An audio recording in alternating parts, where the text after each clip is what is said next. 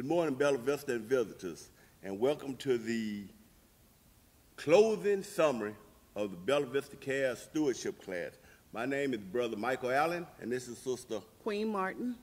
and we have two guests with us this morning. We have, Brandon Park. Gerald Wingate. and this is going to be a, uh, this is going to, this, this, this was a surprise, y'all, because this has been our captive audience that has been team, and this is our, this is our part of our video team, and we uh, got them in to see what, if what they learned from the class, and they were anxious, and we appreciate, appreciate them coming in to help us. May we pray.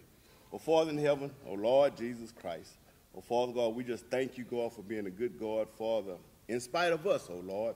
God, we just thank you, God, for God, we just, God, we can't say thank you enough, oh Lord, because, Father, we know, God, that if it had not been for you on our sides, Lord, where would we be?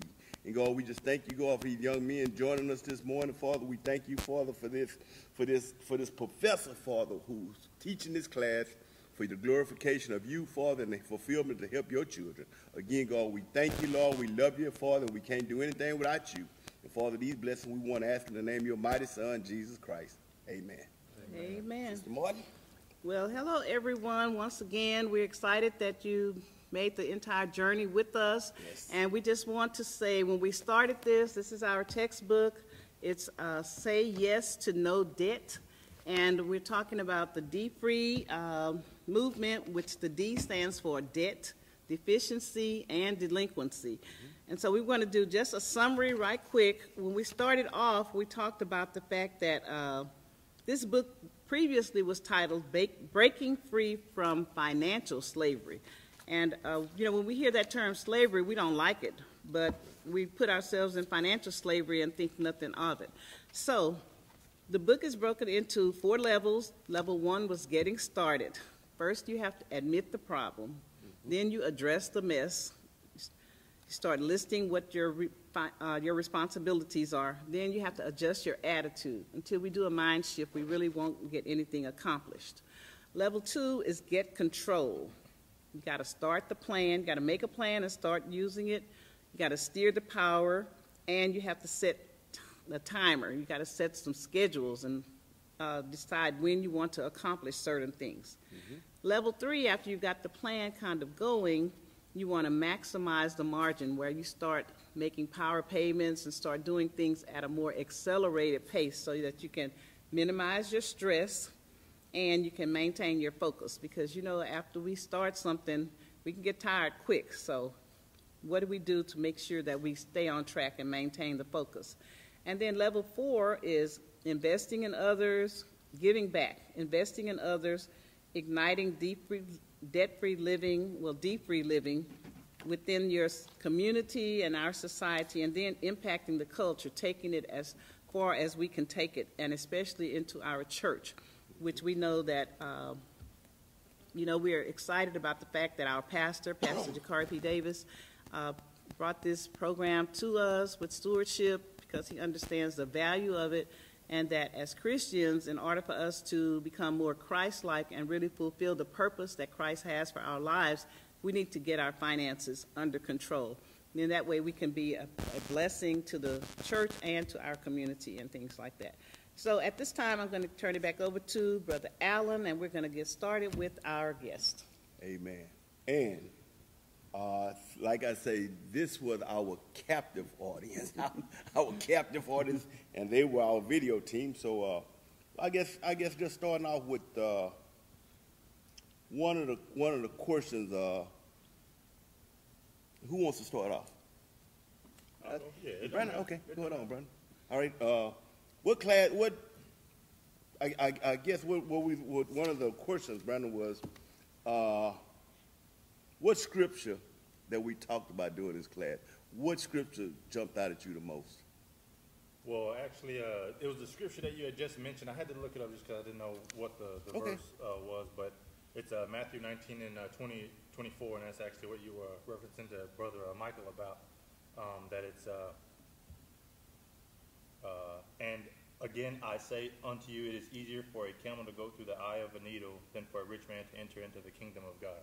Okay. And uh, just the reason that I use this scripture is just because uh, particularly when you uh, have money or you uh, come into money, sometimes it's hard to be generous with that or to uh, share with others. So um, just in talking about money, I feel that that's a good scripture just because uh, I feel that that's something that a lot of people can relate to.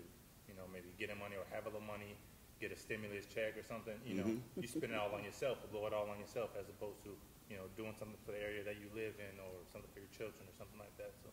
Okay, okay, all right, good, all right. And you, Joe? Um, I would pretty say, pretty much say the same scripture, um, because, yeah, money is, it's not everything, but it is everything, if that makes sense. Okay, But what do you, what you do with your money, uh, that makes the difference. okay. That's, that's, that's, that's, that's a good answer. Question, sister, did you have, you want to ask the next question? Sure. Since you all have been listening to us, we hope that uh, you've been impacted and you've learned something from what we've been talking about. So you all are young men, the heads of your families. We know that, you know, uh, men should be the head of the family and should be leading the way. So I think that a lot of people, you know, you can influence a lot of people. So what are your financial goals? Do you have any? And have we, has listening to this uh, session, you know, changed anything with you? Um, I, and I'll, I'll get to my goals in just a second. Um, in terms of listening in the class and things that you take away, anything that I learn or look at or learn from, I'm always taking away something. So even if it's something small or something large. Um, I, guess I couldn't just necessarily put a finger on what I have taken away, but, um, just being here with the both of you, I, I know I definitely have taken away, even if it's little tidbits of stuff. Um, just personal goals for myself. Um, it is a personal goal of mine that I would like to make my family a uh, millionaire or millionaires, um, and then to um, pretty much be free of all debt. So um, of any creditors, lenders, of any of that uh, type of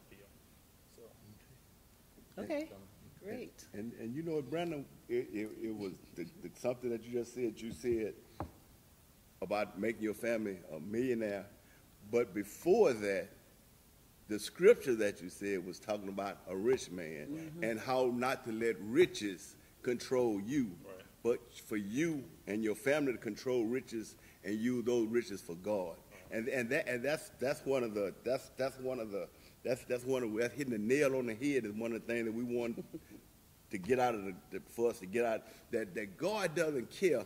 And, and I'm gonna jump on this that, that Matthew six and thirty three it says, "Seek ye first the kingdom of God and His righteousness, and all other stuff He'll give to." God don't care what we have, as long as we put Him first. Right. Yes. And that's, thank you, thank you, Gerald. I'm sorry. Uh, what I, one thing I took away was, um, controlling my frivolous spending. Okay. Uh, ooh, as a young man, there's a there's a lot of stuff that I spend money on that I really don't need to spend money on, but mm-hmm. because I want it, because I have the money to spend it on, I'm, mm-hmm. I'm gonna go buy it. spend it. But it's not. A lot of times, it's not what we need. Fortunately, um, bills are paid first. Okay. Take care, take that out the way. But instead of spending them on frivolous stuff, I can mm-hmm. put it back into my savings to help me with my future. Um, I've been invested in 401k since my first uh, full-time job, once I got out of high school, Wow. um, at the age of 18. Uh, So I'm okay. Mhm. I, I'm, I'm scared to touch it because I don't like paying penalties. But uh, sometimes that frivolous spending be like, hmm, I might want to go take that penalty. Yeah. And and and go on your sister. Okay, well, I'd just like to say that, you know, both of you all seem like you are already conscious and aware of financial situations and, you know, doing some planning uh, before. But uh, how about your surround, people that surround you, your peer group? Do you know people who maybe are not in as good a shape as you, or that maybe you could influence or impact with some of the information that we've been putting out? Definitely. I, um, I have a couple of friends who, uh, don't prioritize, uh, their funds the way that they should. They, I, I, I- and I, I, I, I told them to look at it, I tell them to look at the class because it, the way it helped me, it can help you also. It can teach you how to better prioritize your money, how to better set a plan on what you want to do. Um, yeah. Okay, so, yes, And yeah, I mean, I would just say in general that you can always help, you know, those around you. Um, I, I've, I've once heard this quote, uh, if you aren't, if you, if you walk into a room and you're the smartest person in the room, then to leave the, the room. Yeah. So, uh, kind of the same thing with the money, you know, if you're, if you're walking in and you can't help anyone because everyone around you is, you know, obviously doing better than you or things like that, you maybe need to leave the room, and then that room that you are in, you can help anyone in there. You know, be it if it's, you know, show them where they can save a little extra, or, um, just even, like some of the things you've covered, like how you can make a little extra money if you're trying to make a little extra money, or just, just things like that. So I think, uh, you know, any and everybody pretty much can always be helped.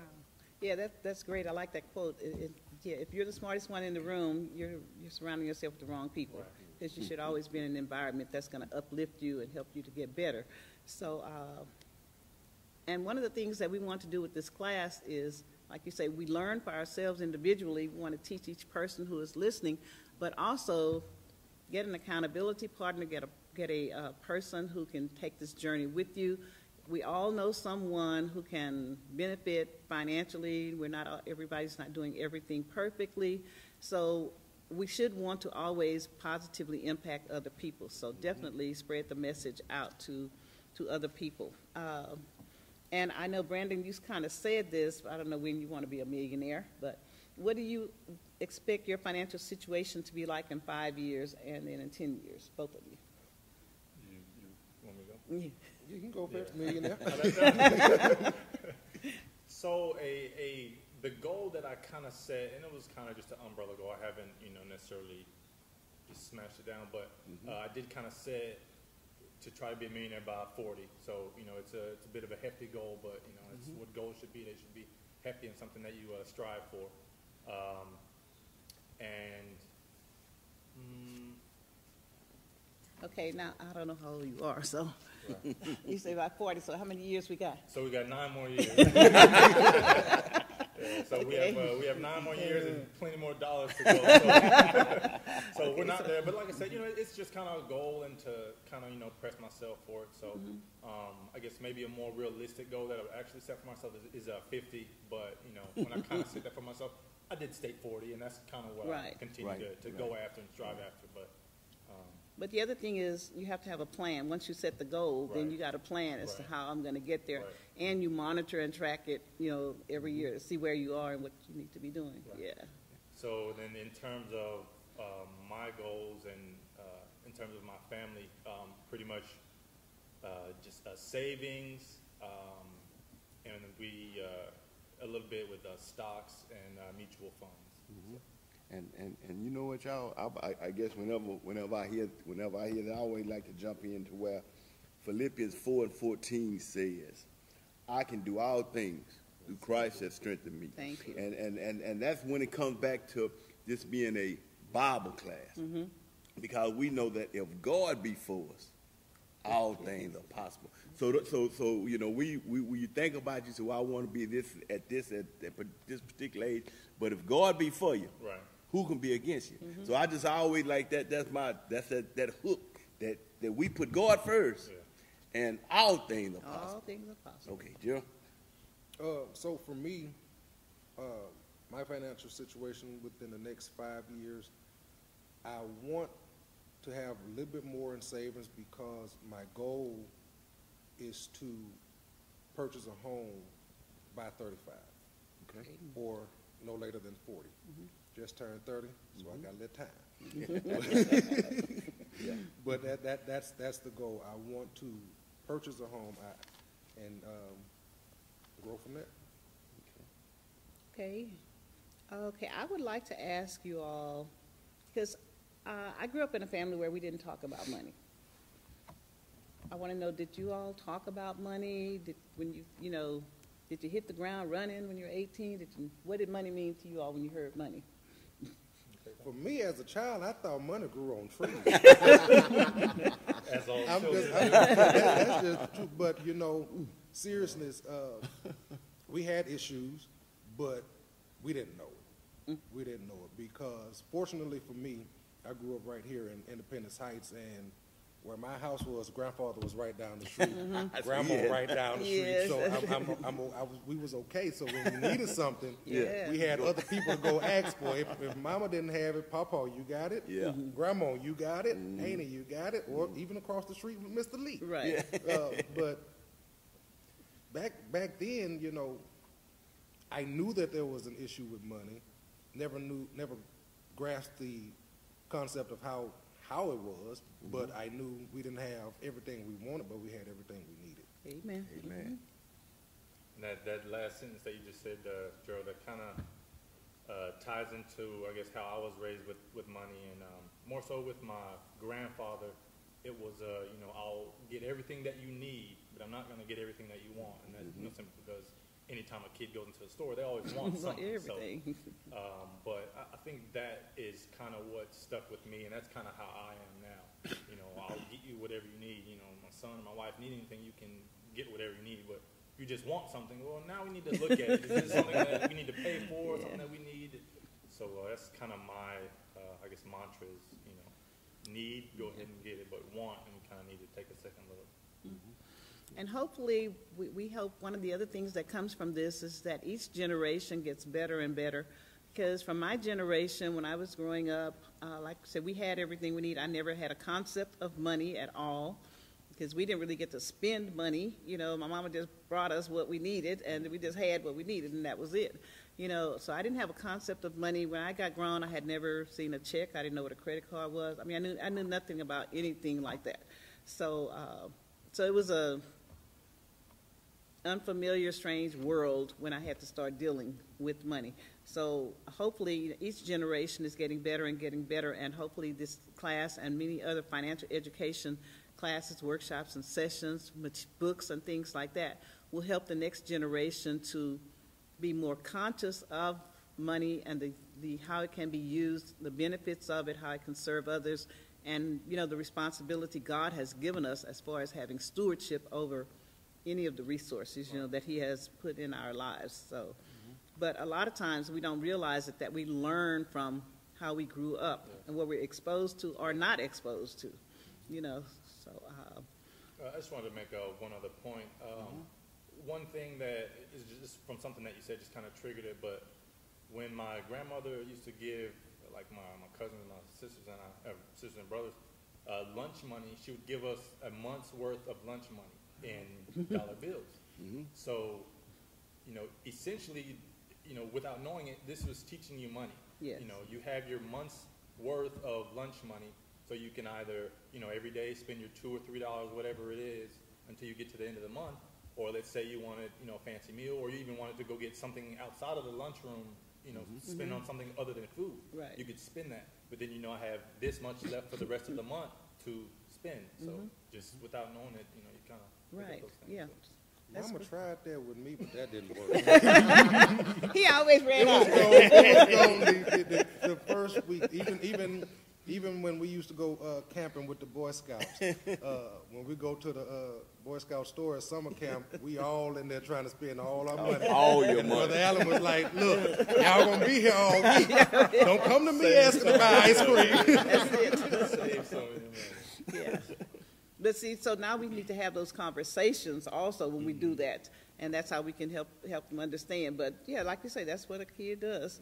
So, um, so I would like you all are young men, so I just like to ask you about the prospect of retirement. When Thirty-one do year you plan old. to retire? I plan on retiring at 65 just because I want to see if I can make it. That- that- that's all. Are y'all gonna get on my nerves at 60? You gonna get on my nerves at 65? yeah. Well, uh, Okay. to be honest, in terms of retirement, I mean, I don't necessarily have a date or, or a um, time frame in mind, you know, because I just feel like I'm one of those people who would always want to work or always kind of need to do something and sit around too long and just kind of need to get into something. So, I mean, even if um, I would finish, you know, I guess finish what I'm doing, I'd kind of tran- transition in, into something else. So, in terms of a time limit or time span, I wouldn't really have a date that I'd want to put on it. Yeah, and that's why I wanted to bring that up, because normally when I ask someone, when do they want to retire, most people will say sixty-five, because I think as our society, we have been trained, Yeah. because of social security and different things, you know, to say we want to retire. But retirement is really a function of money, and a retirement doesn't mean you don't do anything. Right. Retirement just says that I don't have to do anything, or I can do what I want. Right. And that's what I want people to understand. Uh, retirement, because I actually retired from Prairie View, uh, three years ago. Productive people, you know, that's right. He is, So I retired from Prairie View in August of 2017, but I immediately, I was already working another job at that time. I was doing the financial uh, education, actually, then. I did it three years part-time while I was working at Prairie View, and so I just transitioned into doing uh, financial education, you know, because like you said, I don't want to just not do anything. Plus, I, I, I see the value in it. I, I see the need for it, you know, for so many people. So when I say retirement, I'm saying, are you going to be in a situation where if you weren't able to work or didn't feel like working or there was nothing you wanted to do, can you still sustain your level of your lifestyle that you want? That's what retirement is. Just are you able to sustain the lifestyle you want to live without being, you know, having to do, uh, be stressed out, you know, about if the bills are going to get paid and things like that. So I want people to think about that. Uh, retirement is not necessarily your age, it's, it's your finances and what you have in place. Um, okay, now I know y'all said we don't have to worry about time, so I can worry about it. Okay.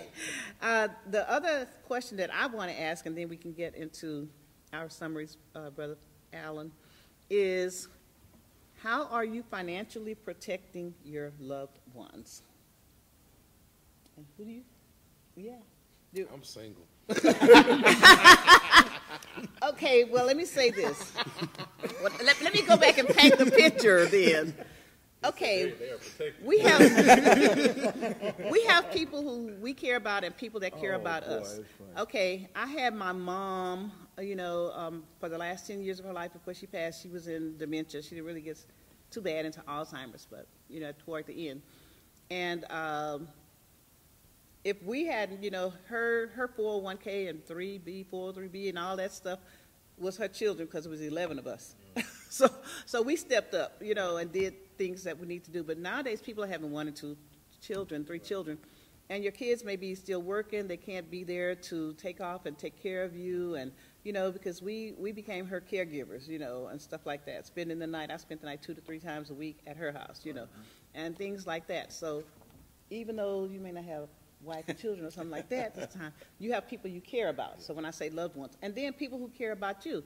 So if something happens to you, we think of uh, protection as maybe life insurance, and we think that's just like burial insurance or if I die. But no, it's not, because we have chronic and critical illnesses. We have uh, injuries, disabilities, and things that happen where sometimes we may, somebody may have to come in and help and take care of us. That's a protection for people who love you and care about you because they don't want to see you not taken care of. And if you have nothing in place, what's going to happen? They're going to be stressed out, or they're going to be there trying to take care of you, and you know things like that. So now, with that background, how are you financially protecting your loved ones? And when I say that, is what type of documents, estate planning documents, do you have in place, or should you have in place first of all, and then what do you have in place? So, uh, currently, uh, what we have in place is, beneficiaries on all accounts, uh, life insurance, and, uh, holographic will. The plan is to get to, you have to give me a second, because I always have to, uh, remember the name. A, I have to come back to the name, but it is a, uh, trust, a revocable living trust. So that's the, the end goal that I wanna get to, but I haven't, haven't gotten there yet. Um, and really, cause all this kind of COVID stuff happened, but, um, it might be even more reason to. you know, More, really even get more into it. reason, yes. And the person who, uh, doesn't have to have anything in place, tell me, well, for me, if, if, if anything was to happen, I, I do have life insurance and my, uh, right now, my mother and my uh, oldest, bro- older brother, I'm sorry, not oldest, my older brother are my beneficiaries. um, Because uh, it was, when my father passed, he didn't have insurance. And that was a hassle on me Yes. uh, trying to figure out how I'm gonna come up with this money. Uh, and I'm, I've always been the one to say, I'm not going to go sell no fish plate. So- Yes. Fish, no barbecue, no. Exactly. I'm, I'm not, I'm not going to sell a plate. So in seeing that, and seeing the struggle, uh, thankfully, I had people around me who were willing to step up and help me out. So I was able to take care of my father's services, but I didn't want to put that burden on nobody else. Right. When it comes to time for me, I have my mom and I have four other siblings. They got life insurance. Somebody better do something. And then see, and that's what I'm saying when we talk about like sharing the message. Mm-hmm. Uh, anybody that you, I tell people that I come in contact with, anyone that you would feel responsible for if something happened to them, you need to make sure they have the right stuff in place, that they have their, and other things, Brandon, I would say is uh, the power of attorney, your financial power Right, of and that attorney. was- That was something I. Yeah, your I health mentioned care or last time, medical so- power of attorney needs to be in place so people can communicate with the doctor and things like that. Right. They, they don't have that permission unless you give it to them. Right. Then have, like you said, when he said holographic will, do people know what that is? I don't know. If everybody knows what. Okay, can you, ex- can you share with us what that, what you're explain what talking it about, a holographic So, will? from my understanding, the holographic will is essentially a will that anyone can do from their home. You can write it up, and this leaves some Mm-hmm. uh, type of a, uh, I guess we could say, a semi-legal document. I don't know if it's you know complete legal, but uh, a semi-legal document that would at least you know um, give some direction on what you know is Your going to happen wishes. with your things and stuff once you pass. Yeah, and I just wanted to make that uh, clear because, uh, you know, a lot of times people hear things, but they won't ask, what does that mean, you know, stuff like that. So a holographic will is basically a will, yeah, that you write and prepare at home, uh, basically. But um, I do want to say, and I have offered this before to Bella Vista, and I'm going to ask Sister Priest and Pastor, can I put it out one more time, that I do complimentary power of attorney, health, financial powers of attorney, healthcare powers of attorney, and wills. I offered it to all the members of Bella Vista back in March or April. I had some people take advantage of it, but I'll offer it one more time because as Brandon stated, during this time period, especially during COVID, we need to have these things in place. It's very important. And to me, love is an action word. You can say I love you all you want, but if you say you I love you and you die without insurance and you were able to get insurance, I'm, I have a problem with you. Like you said, I don't want to. I don't want to do a GoFundMe. I don't want to sell no fish dinners or barbecue. I don't want to be basking uh, the, the friends. I don't want to tell the funeral home to hold the body out two or three weeks because until we get the money. You know, uh, really insurance. Uh, at the basic level, you know, enough to bury you at least, even if you're not trying to leave a financial legacy for other people so that they can can have a leg up maybe and continue on with their lifestyle, is, is very minimal, and I think most people can't afford it. You need to look into it, so don't just assume you can't afford it. You need to look into it and put it in place if you can. So, um, am I giving my summary? No, man, well, uh, yeah, and, but, but just like you said about looking to it, I'm just coming, it's just like Gerald said about, uh, priority. That's a priority, instead of you putting the, it- it, God forbid something would happen to you, and you wasn't, you know, and you wasn't, and your family did, what, didn't have the means to bury you, and you didn't have that insurance. You know, that priority should be that right now, you should do it if you can afford to. Because you know, again, y'all, I, I guess I, I'm go back to what the Bible said. When you hear the word, That's when you when you hear the word, that's when you're supposed to act on the word. Mm-hmm. It's just like being saved. When you when you hear when God speaks to you to, to come and give your heart to, and your mind to Him, that's when it's time to do it right then. Because if you wait, you may get outside that door and get hit by a bus. That's it. And You then don't you don't have, you're not saved, and you And don't you don't have have insurance. insurance. All right. Doing a real hurt right Yes, we're in a, oh, and then I do want to say this because I know people, a lot of people don't like life insurance because they think it's just death insurance. But there are a lot of living benefits to life insurance. We can't get into it now, but they have living benefits uh, based on, you know, what type of illness or you may have. We have long-term care if, if for people if you need to have somebody coming into the home, or if the person needs to be in a facility. And one of the ways that you can get to your millionaire status is through life insurance. Yes, cash value life insurance, so we'll talk later. Yeah, yeah. You know what, you know, what, and, and, and, and, and I just want, the question I just wanted to ask is, uh, for both of them, and it's me, are, are y'all doing anything to make any extra money on the side? Or y'all, do y'all have like a, any Hustle. kind of side? A hustle? Side hustle. Well, um, at one point, I was doing, um, audiovisual for the Buffalo Soldiers Museum. Okay. Um, so I do the small stuff like that. If somebody needs a favor or some, uh, somebody need me to come take pictures at a wedding or something, I've done stuff like that. Yeah, But nothing, nothing every day. every day, but yeah, but I mean, what about you, Brandon? Yeah, uh, actually, uh, similar, um, some like audio visual stuff for different companies. I used to work for the movie theater, uh, Cinemark, and sometimes I would do little videos. We'd like play in the lobby and stuff. So, Yeah. uh, done that and um, uh, side. I guess that's kind of it for side stuff. But.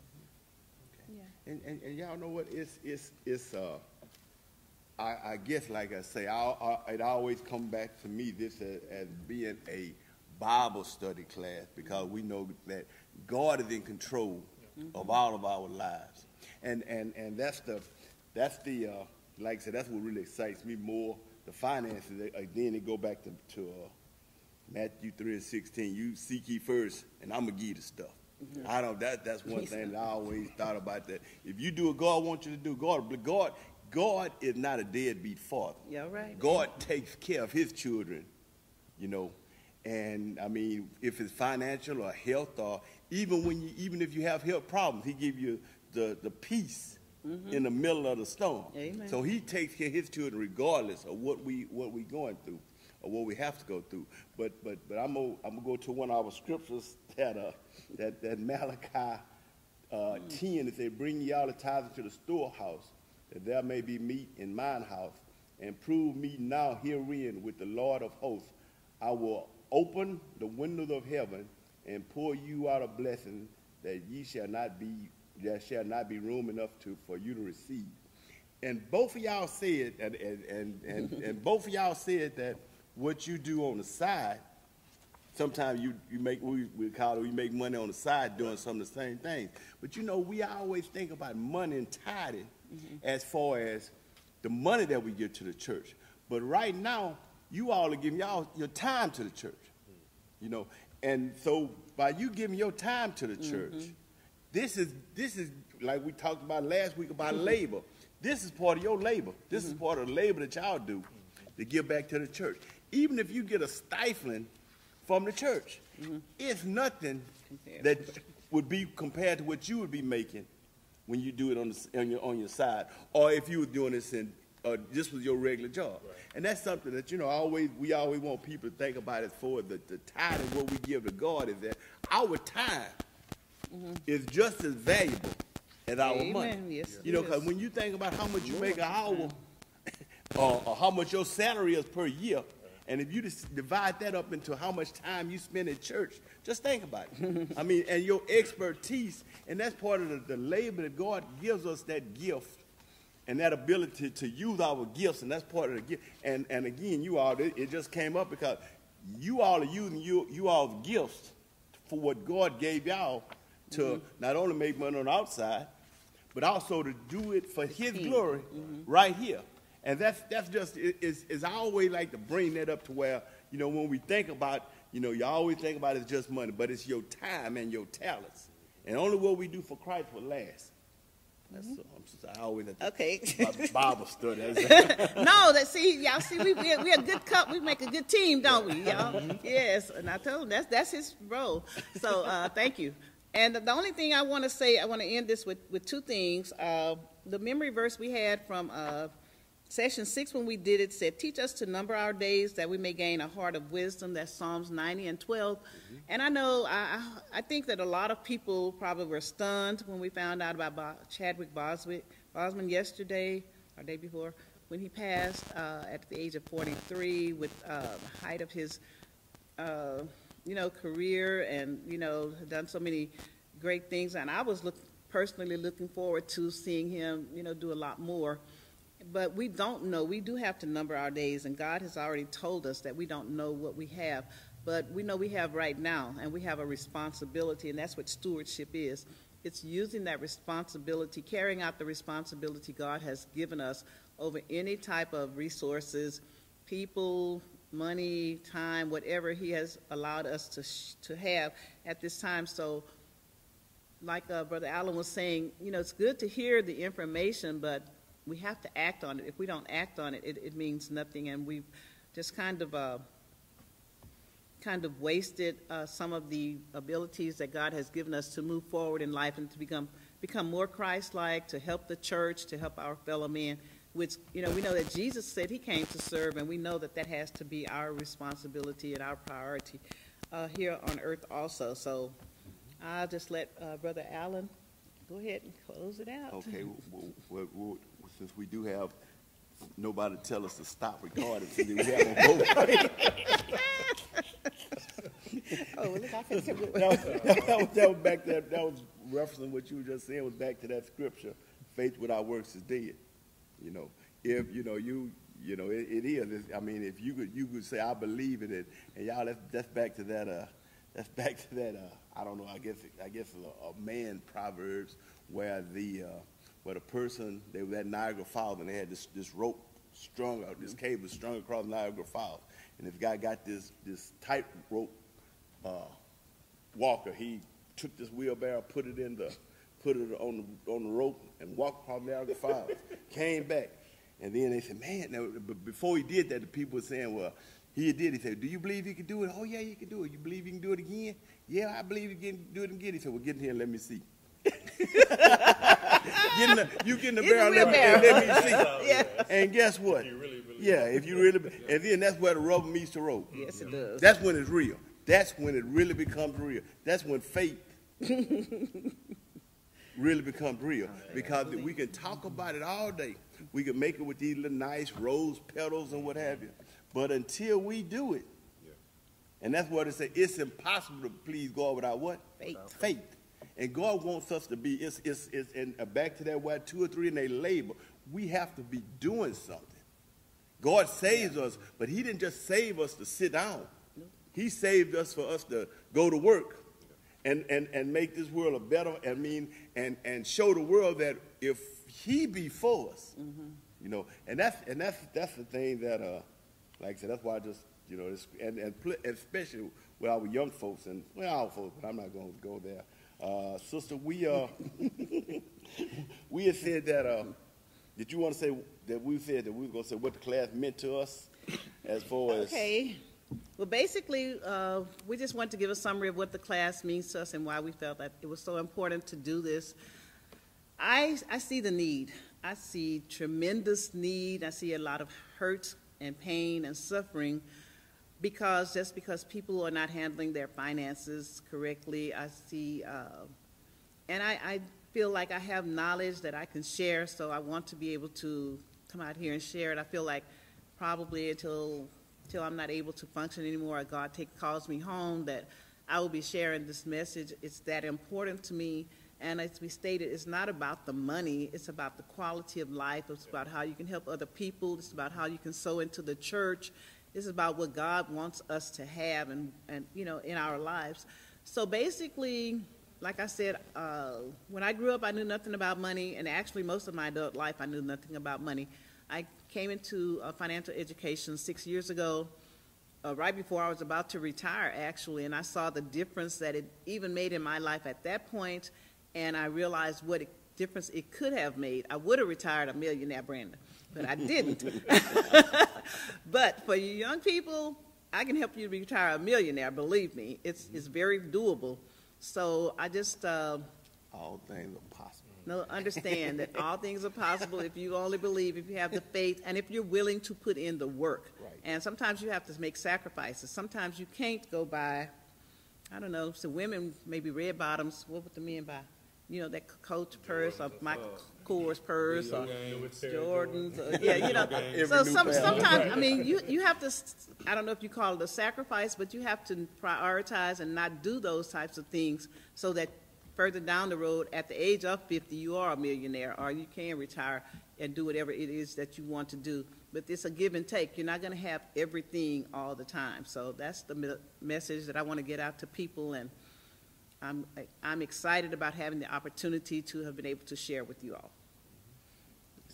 And, and since I, I guess my, my summary of, the, of this was again, is that knowing that and being blessed enough to see some of the things that, that God has showed me over the, over the time of, the, of these 60 years. And uh, knowing you haven't been perfect, but God, grace and mercy Yes. kept me. You know what I mean? I, when, when, I, when I was listening at, at service, uh, on TV this morning, it was saying that the men were singing, uh, "If it had not been for the Lord on my side, where would I be?"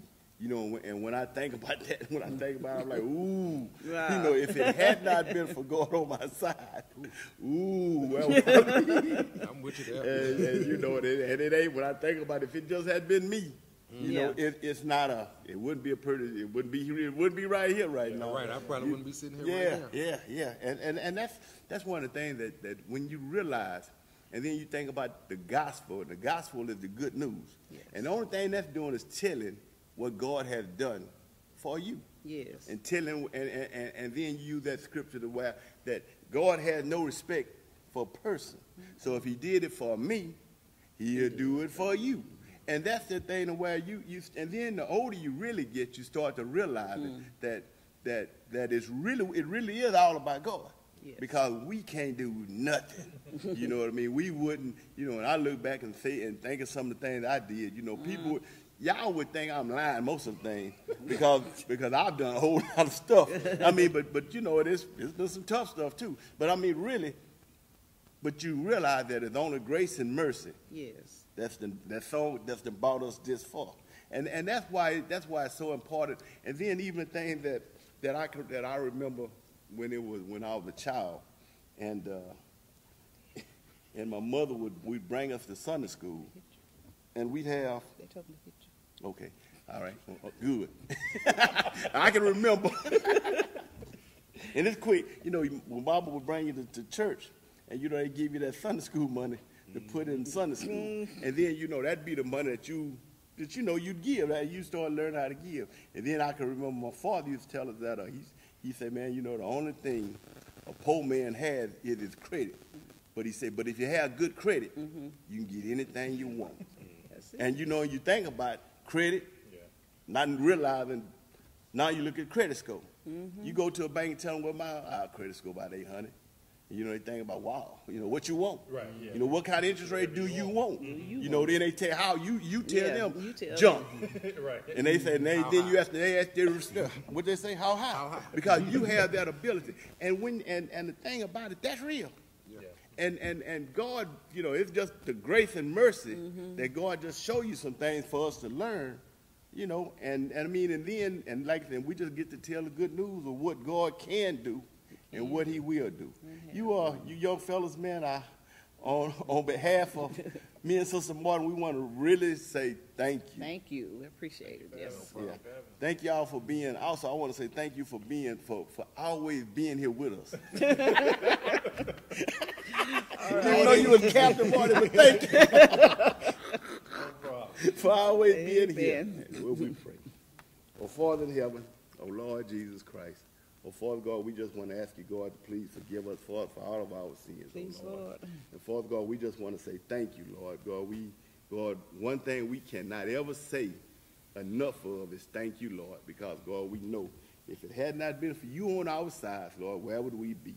And Father, again, we just say thank you, Lord. And God, we just ask God that, that, that the people who see this class, Father, just believe it, Lord, and just make it real in their hearts, Lord. God, just make you real in their hearts, Lord, and realize, God, that, that if you be for us, it ain't nothing that nobody else can do against us, Lord, because, Father, you are the Son, Father.